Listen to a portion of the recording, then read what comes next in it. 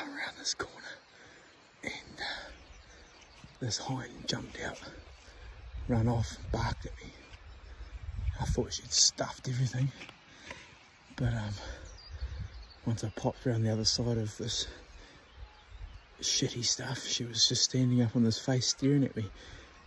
About a 200 metre shot off the shoulder.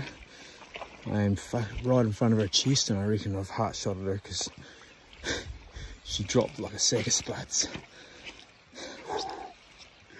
Oh, it's been a long time between drinks, so I am absolutely pumped. All I wanted was a meat animal. Stag would have been a bonus. Stoked, so stoked.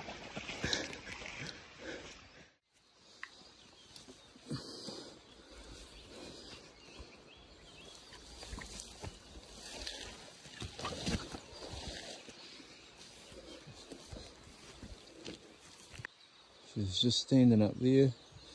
She's tumbled down. Deer down.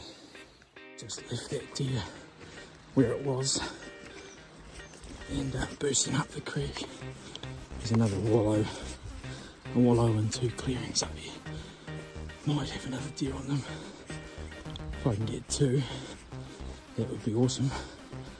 If not, we'll head back and bone out that other one be on our merry way home.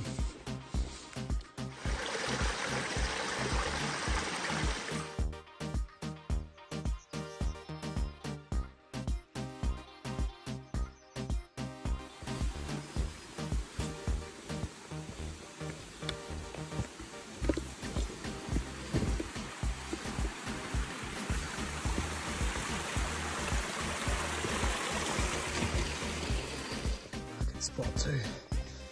So back to bone that deer out. Spooked a hind and a fawn. That's been it since. Still not even eight o'clock yet, I don't think. Sun's not up. Happy days. Well, back to where far out the sandflies are unreal. I'm gonna make quick work of this girl before I get bitten alive pack her up and head on out of here.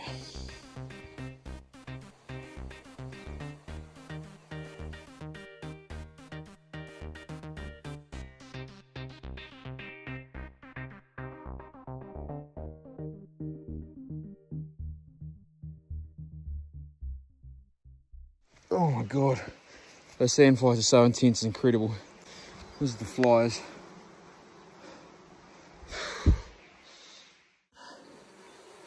Two minutes after. Holy heck, it's summer. Oh, sandflies are so intense, I can't even bone these legs out right now. I'm just to carry them out. Plus back straps and tenderloins. Holy heck, that's intense.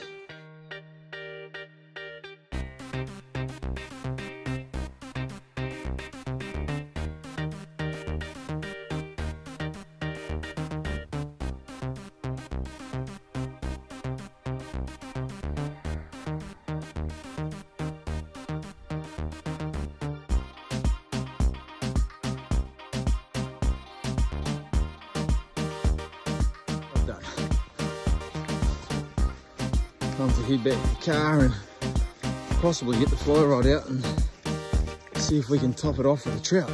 Would be awesome. See how we go.